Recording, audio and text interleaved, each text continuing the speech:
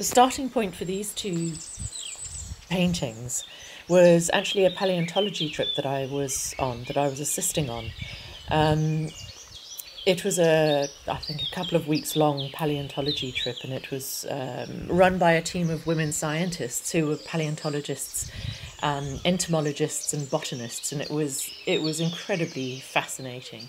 They were cracking open rocks to uh, expose plant matter and insect residue that had, and the, the insides of that rock face had last seen the sun, I think, 270 million years ago in the mid Permian. So it was an, an extraordinary and profound um, trip to have been able to assist on.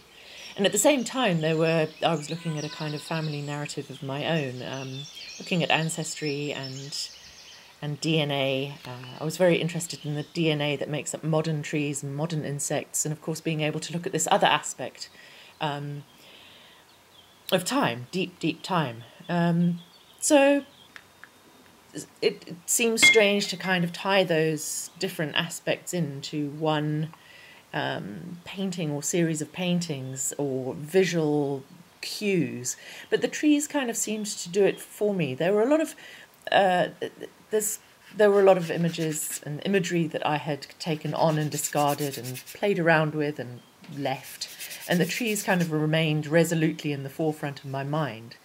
Um, and this is where a lot of um, a lot of the ideas that I was looking at